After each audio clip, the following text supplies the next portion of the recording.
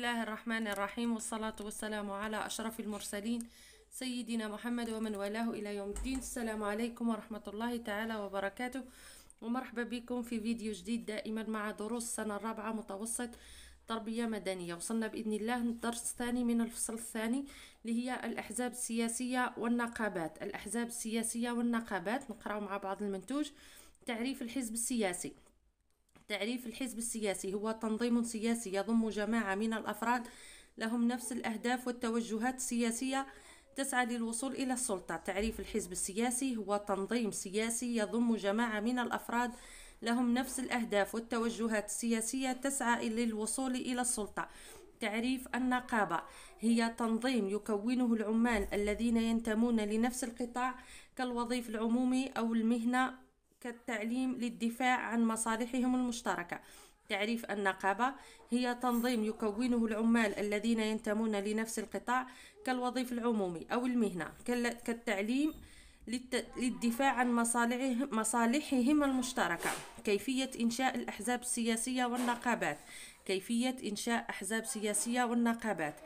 إيداع كيفية إحزاب إنشاء الأحزاب السياسية أولا. إيداع ملف تأسيس الحزب لدى وزارة الداخلية توفر الشروط القانونية اللازمة في الأعضاء المؤسسين منها الجنسية الجزائرية بلوغ سن 25 سنة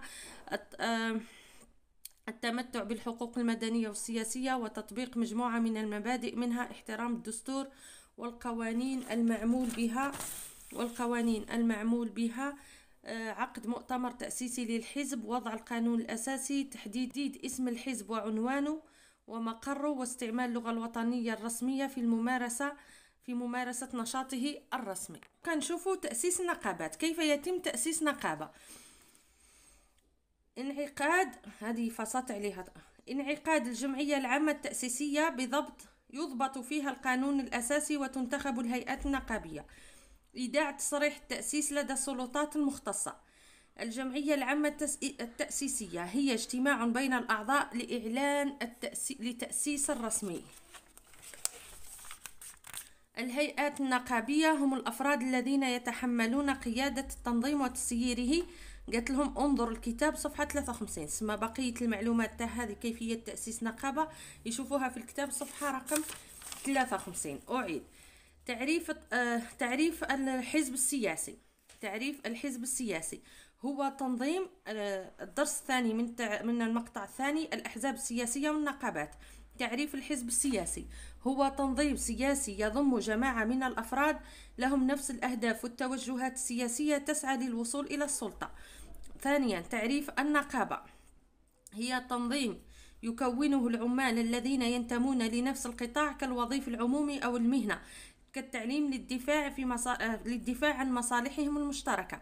كيفية تأسيس حزب وكيفية تأسيس نقابة. كيفية تأسيس الأحزاب السياسية والنقابات. أولا الأحزاب السياسية ثم كيف نؤسس الأحزاب السياسية. إيداع ملف التأسيس أو تأسيس الحزب لدى وزارة الداخلية. توفر الشروط القانونية اللازمة في الأعضاء المؤسسين منها الجنسية الجزائرية بلوغ سن 25 سنة التمتع بالحقوق المدنية والسياسية تطبيق مجموعة من المبادئ منها احترام الدستور والقوانين المعمول بها عقد مؤتمر تأسيسي عقد مؤتمر تأسيسي للحزب وضع القانون الأساسي وتحديد اسم الحزب وعنوانه ومقره واستعمال اللغة الوطنية الرسمية في ممارسة نشاطه الرسمي. ثم كيفية تأسيس نقابة. أولا انعقاد الجمعية العامة التأسيسية. يضبط فيها القانون الأساسي وتنتخب الهيئات النقابية. إيداع تصريح التأسيس لدى السلطات المختصة. الجمعية العامة التأسيسية هي اجتماع بين الأعضاء لإعلان التأسيس الرسمي للحزب والهيئات النقابية. شكون هي؟ هم الأفراد الذين يتحملون قيادة التنظيم وتسييره.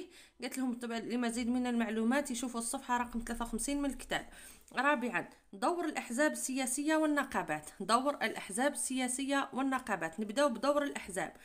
تكوين الرأي العام ترقية الحياة السياسية تثبيت قيم المجتمع تكريس الفعل الديمقراطي ترقيع ترقية حقوق الإنسان توعية أفراد المجتمع بأداء واجباتهم وممارساتهم وممارسة حقوقهم تعزيز العلاقات بين المواطنين والدولة إذا كان في السلطة آه، العمل على تحقيق مصالح الشعب.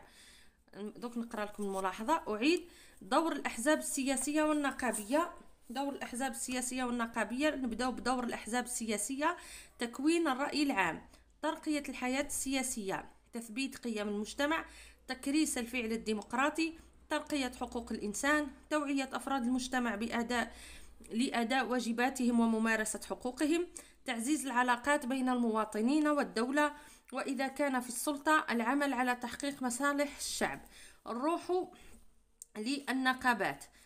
دور النقابات. الدفاع عن مصالح العمال المادية رفع الأجور والمنح تحسين ظروف العمل كالنظافة والأمن توجيه الخدمات الاجتماعية لصالح العمال التدخل لدى صناديق التأمينات والتقاعد الدفاع عن حقوق العمال المعنوية إصدار قوانين تحمي حقوق, حقوق العمال الاتحاد والتضامن بين العمال وتسوية النزاعات بين العمال والمستخدمين واللجوء إلى الإضراب القانوني عند فشل المفاوضات.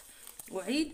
دور الأحزاب السياسية. أولا دور الأحزاب تكوين تكوين الرأي العام ترقية الحياة السياسية تثبيت قيم المجتمع تكريس الفعل الديمقراطي ترقية حقوق الإنسان توعية أفراد المجتمع لأداء واجباتهم وممارسة حقوقهم تعزيز العلاقات بين المواطنين والدولة وإذا كان هذا الحزب في السلطة يعني يعمل على تحقيق مصالح الشعب.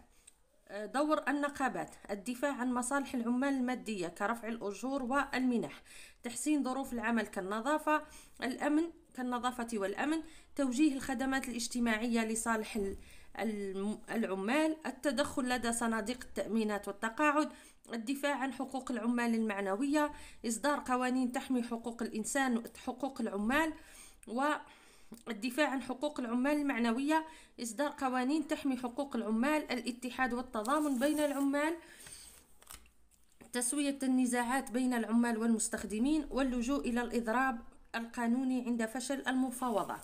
نشوفوا فقط وش هو اللي عطاته لهم في الملاحظة. نظرا للدور الهام. أسنا تشوفوا ها. شوفوا برك الملاحظة.